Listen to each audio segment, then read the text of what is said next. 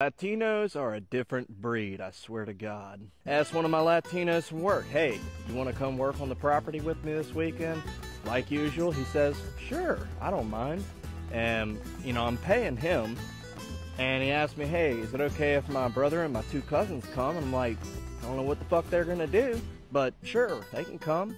So they show up this morning, I'm just like, I don't know what y'all want to do. I mean, y'all can pick up sticks if you want or something. They were like, oh, you got chainsaw? I was like, yeah, I got a chainsaw. And they was like, want to cut these dead trees down?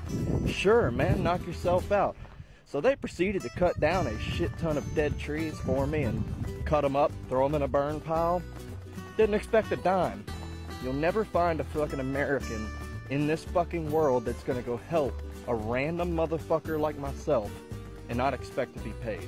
And before any of you try to come at me about using a Latino accent to talk about my guys, I really don't give a fuck what you think because they don't get offended by it because they're not fucking soft skinned American pussies. They're Latinos. They don't give a fuck. They fuck with me just as much as I fuck with them. On top of that, whenever I tell my guys, hey, I need y'all to go get blah blah blah, they don't fucking have a clue what I'm talking about. But if I throw a Latino accent on that shit, they're just like, oh, go get the shovel and the probing rod, the sawzall, the scraper, the fucking dildo. You know, they fucking understand it when you throw that accent on it. I don't know why, but fuck it. I know y'all been checking out this sexy shirt right here. You can go over to Cruise Louisiana Outdoors and pick yours up today. I am not a paid affiliate or a sponsor. I just like the guy's content. He's funny.